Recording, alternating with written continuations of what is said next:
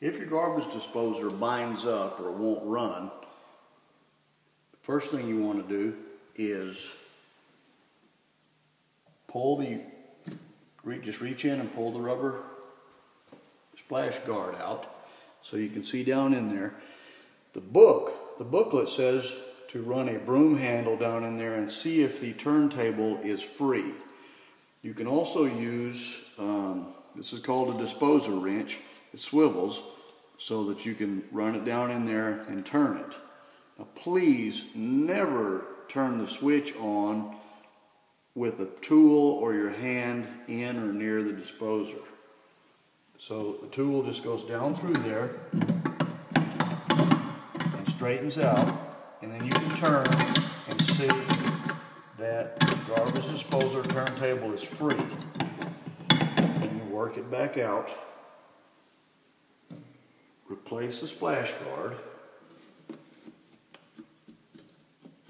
put it back in, turn the cold water on and let it run, and then turn your switch on. Garbage disposer is running fine.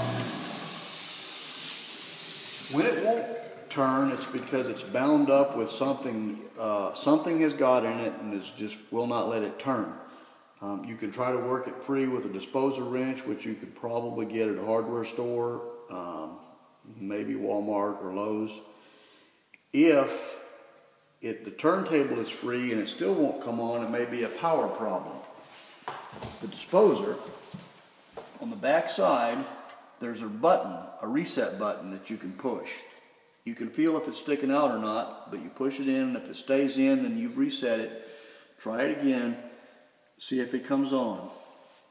If it doesn't come on, um, it may still be a power problem. You can go to the breaker box and see if the breaker marked dishwasher is has been tripped. If it has been, then you need to call an electrician.